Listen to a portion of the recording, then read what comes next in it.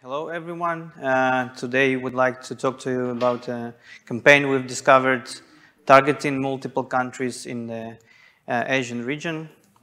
Uh, so my name is Igor Morgenstern, and I work as a malware researcher for Avast. And this is my colleague, uh, Luigino Camastra. Uh, hello, everyone. Uh, and I also work as a malware researcher at Avast, uh, mostly hunting APTs and reverse engineering malicious files. And uh, also there was uh, one colleague with us, Jan Holman. He's also malware researcher. So okay, I'd like to help. Uh. Thank Thanks, him as thank well. him as well. Okay, let's see how it all started. so uh, while hunting for uh, samples from a different campaign, we came across this binary, which was logdll. So uh, an attacker abused uh, sideloading to load this DLL. This uh, binary had really low detection rate at uh, that time. Most of the victims uh, were in Taiwan, and according to some uh, additional uh, telemetry that we had, they were most likely related to online gambling industry. And this industry is known to be targeted by Chinese APT groups, so we thought that it can be an interesting uh, for further, further investigation. So let's uh, try to explore the timeline from discovering this DLL uh, backwards till we finally find the infection vector and are able to build the entire uh, infection chain. Okay, so the, we are going to start with the stage three, which is our log DLL. we call it uh, Corex. As I've mentioned, uh, they used side loading. Uh, so the payloads are encrypted and stored uh, in resources with AES-256. The decryption parameters are also stored in the uh, resource as a key hash IV, uh, as a white string. When executed, this uh, stage is checking, checking for this process presenting on the system, which is the ESET's uh, service process. If they find this process, they uh, remap NTDLL to bypass the hooking. After that, they execute the shellcode and load the next stage. Some uh, interesting technique that they used in shellcode was that they enumerated exports of NTDLL and built an array with hashes of these names uh, of uh, ZW functions, which are basically the syscalls. Then they uh, sorted this array by RVA, and by doing so, they exploited the fact that the order of RVAs of ZW functions is uh, equals to the order of corresponding syscalls. So an index in this array is uh, basically a syscall, which can be called directly with the syscall instruction. Uh, by doing so, you can uh, bypass some security uh, products uh, based on hooking API in user space. Okay, let's recap uh, stage two. Uh, in this stage, they used uh, com session moniker for privilege escalation on the system. Uh, binaries are also stored in the resources. They are encrypted with the AES-256. Uh, IV is hard-coded in the binary and the decryption key is derived from hashing multiple bytes in the resource at the offset of 8. Uh, after that, this stage is uh, execute the next, next one. Here is a summary of um, multiple uh, resources we've uh, seen uh, on this stage, from this stage. Uh, they, they have multiple types of resources, uh, multiple types of payloads, as, uh, for instance, uh, different configuration files, list of CNCs, uh, some helper DLLs for UAC bypass. They also had the next stage, which was the log DLL, and PE, which is meant to sideload this log DLL. Okay, so now we are at stage one, which uh, consists of two parts. Uh, the, the main executable was uh, this um, setup CN. The, the whole uh, binary name was mimicking uh, name of a setup of WPS Office, and we are going to explain why. Um, okay, so this stage also was uh, abusing uh, side loading. So to access uh, the current, uh, current user hive uh, of the uh, user logged in on the system, they impersonated token of Explorer and used reg override Windows API. After that, uh, they constructed JavaScript code with some hard-coded values. As you can see, it was a server, which is uh, the just CNC and the key for decryption. Uh, rest of the script is retrieved during the execution from the server, and unfortunately, we don't have, we do not have it because uh, the server was not uh, available during the time of the investigation. But from the telemetry, we could uh, we can say that uh, this script was just downloading the next stage, decrypting it, and executing it. Okay, let's recap. Here are our three stages, and let's take a look at the infection vector. So we could see that the first stage was dropped by WPS update process, which is the uh, update uh, process of uh, WPS Office, which is the um, office uh, developed by Kingsoft. Uh, this payload was downloaded from uh, official domain, which was uh, update.wpscn, but it was uh, served from this IP, which uh, which is located in Japan and has no relation to the Kingsoft company itself, which was pretty weird. And we had a few ideas on how to explain that. So first we thought that this might be a DNS spoofing, or uh, they might have compromised the infrastructure of Kingsoft themselves. But we could eliminate uh, these uh, theories uh, by checking some additional information. And other idea that we had was the vulnerability in this uh, update process itself. And we decided to check this. So we had multiple objectives. Uh, so we have to be able to download executable from an arbitrary location. Uh, the, this process should look legitimate, and uh, we should be able then to execute the, this binary on the system. And luckily, we could do that. So we had to uh, update just single single registry value on the the machine, and this uh, value is under current user hive, so it does not require any additional privileges. By doing so, we also get persistence on the system because every time uh, update process is going to be executed, it's going to talk to our malicious server. Uh, and all our malicious uh, binaries that are going to be downloaded are going to be executed by WPS uh, legitimate signed uh, process. Here is a just quick demo. On the left, you can see uh, the um, screen of uh, the victim, and on the right, it's uh, just emulates the attacker server. And in this case, I um, invoke the update process manually, but uh, you don't have to do that because it's going to be uh, um, invoked uh, automatically through the uh, schedule task on the system. Uh, then at this point we already had uh, like full chain from infection vector throughout all the stages, but we had multiple binaries from the stage one for which we did not have the infection vector. And we decided to talk to TeamT5, which is a security company based in Taiwan, um, for other possible IVs.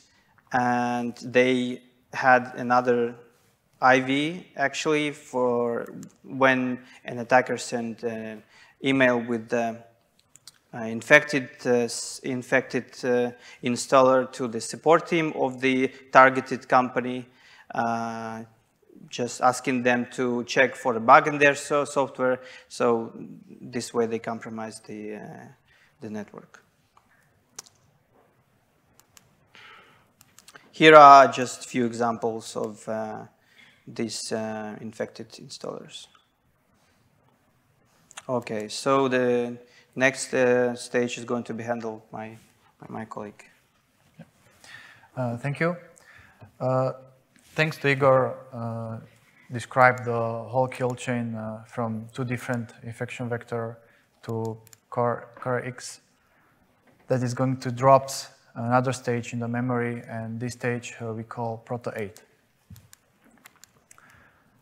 Uh, Proto8 is quite robust as a modular DLL written in C++, and in the first phase, it's checking if that was loaded by the right executable, and then it starts setting up some basic environment for the right functionality, such as malware's working directory, may load some configuration files, also may update itself, but if that is necessary. Uh, Proto8 is responsible for loading plugins that are extends the Proto8's functionality. Uh, those plugins may be obtained from a Chinese uh, cloud storage service, and the, to access this storage, you need to have, the Proto8 needs to have uh, credentials which are hard-coded within, uh, within the binaries. So one of the things why I describe it robust and modular um, is that it may choose one of the different communication functionality for the communication with the CNC server. And this decision is made by the configuration file dropped by ICBClog. As you can see uh, on the slides, there are nine different uh, strings you might find in the configuration file. Uh, Proto8 may also receive a command from a CNC server, and one of uh, those functions is uh, update uh, its configuration file uh, that holds the IP, address of a CNC server, uh, and one of the nine strings that were in the SM cache data. So these strings, this string that are uh, in the SM cache data is going to really describe like which function is going to use for the communication with the CNC server. May also receive a plugin. Those plug this plugin can be loaded and dropped. Uh, also, it may impersonate a token from the Explorer. And uh, we, we found uh, that some functions are not yet implemented. So we make a kind of we, we, were, we are assuming that the binary is actively being developed by, uh, by the attacker. So far, we found uh, four different plugins. Uh, one of them uh, is a core plugin that loads the rest of three plugins, and each of them co correspond with different functionality, such as achieving persistence, bypassing UAC, registering an RPC interface, creating a new account, and one of those plugins has uh, backdoor capabilities. Uh, we will now talk about the first plugin, uh, core plugin. Uh, this plugin is loaded by uh, Proto8 uh, to manage additional plugins. So it may load plugin, remove a plugin, and also, it may uh, find information about the plugin location and this information uh, sent to uh, CNC server. Uh, the, the main purpose uh, of this make game is it executing the is it, it executes a legitimate binary that loads a core X loader, and that loads Proto8 in the in the memory. we found that it was also registering IPRC interface that corresponds with the functionality to decode and execute a, a shellcode. Uh, zload is doing two things. The first one is uh, setting up uh, the persistence. And uh, the second one, it creates an easy access uh, to the infected machine. Now we'll talk about the setting up the persistence. Uh, this is done by two methods. Uh, one of them is it can register itself into the list of security support providers. And the second one, um, it's setting up the make, game path uh, to the register key. So um, to make game will be loaded each time when WinSock library uh, is invoked.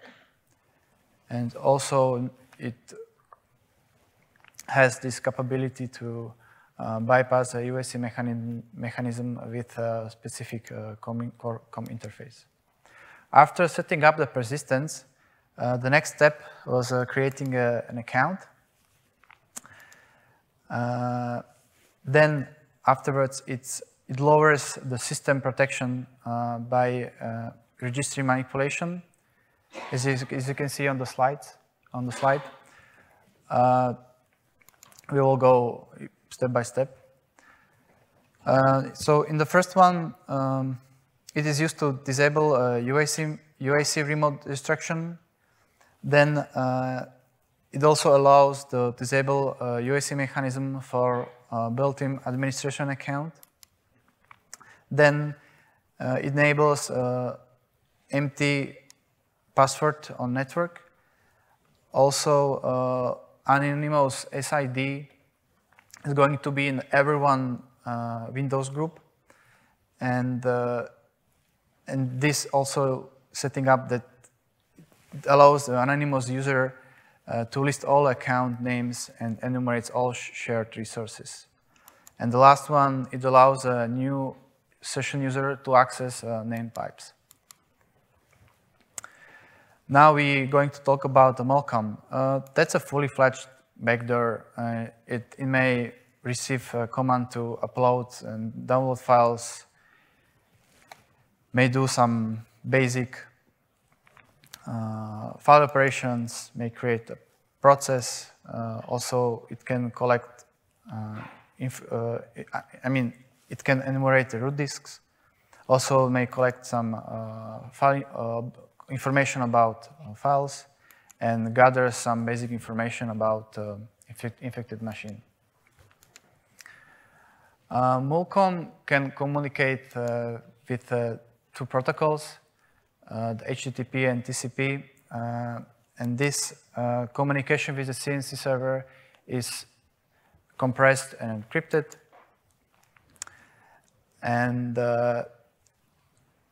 it, it also has this functionality when if it finds out that um, there is a proxy server in the network, it has this functionality to may authenticate uh, with the proxy server. That was our analysis, uh, technical analysis of the binaries. Now we are going to talk about the victims. So far, we found uh, victims that are mostly located uh, in Asia. More specifically, we found uh, dissidents in China. Uh, also, we found uh, from our telemetry gambling companies in Taiwan, government institutions, and railways uh, gambling company in Philippines, uh, telecom, uh, telco companies in Kazakhstan, and dissidents uh, located in Hong Kong.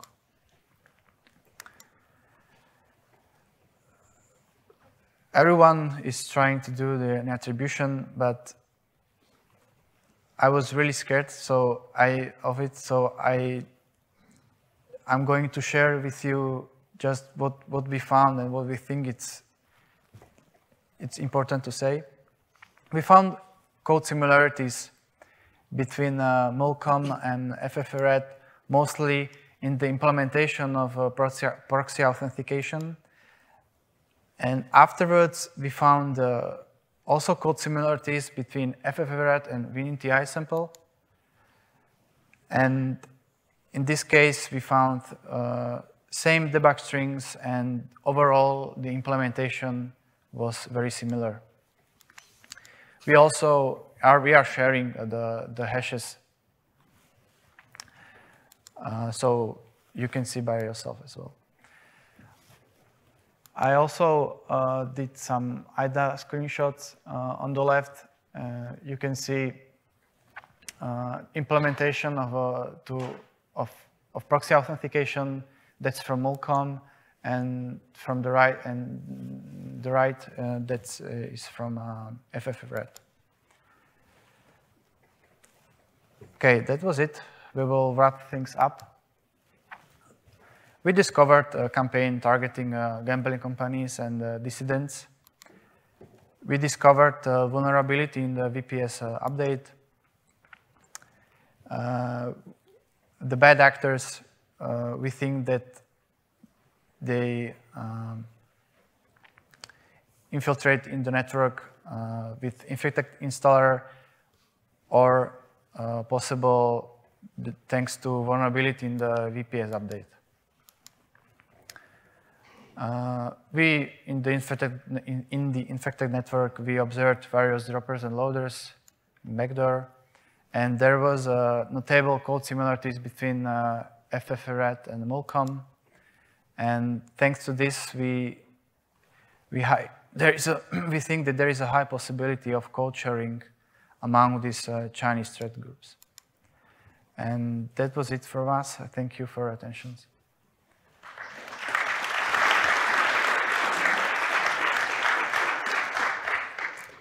So, any questions?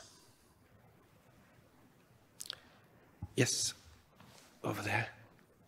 Hold on, the mic is coming. Uh, guys, thank you so much for your talk. Excellent. Um, I know you were very careful with attribution, uh, but I'm asking you to be a bit not careful. Uh, did you see any any overlaps between groups that you currently track and, and this threat actor?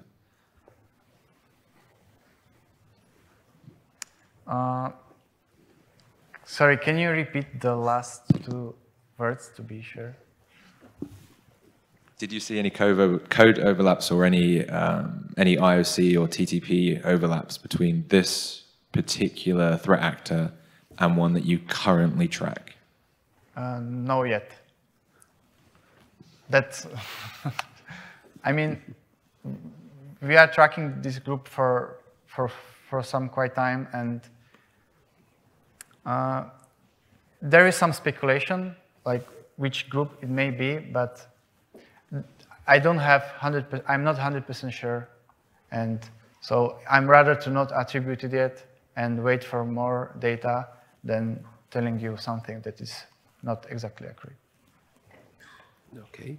There is some other question over there, yeah? Just, um, probably I missed it during the, the talk, but did you, it, it was the, the vulnerability in that component that made them being able to change the uh, final IP with that domain that should not be translated into that IP? I mean, the, the updater thing, you remember that it had a, a, a legit domain, but was pointing to a, an IP in Japan and it didn't make sense. Did you finally manage how did it that? Yeah, so basically it's not that they managed to change the IP, it's just from the HTTP traffic, if you look at it, it looks uh, legitimate, but like if you, if you dig a bit deeper and you, you see where it's actually connecting, uh, it, it goes through other routes. So. Okay. Any other question? Yes, over there in front. The mic is coming.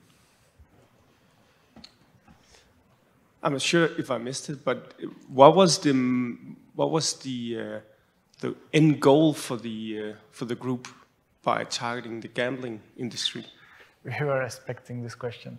Uh, you are talking about the motivation of the group, right? Yes.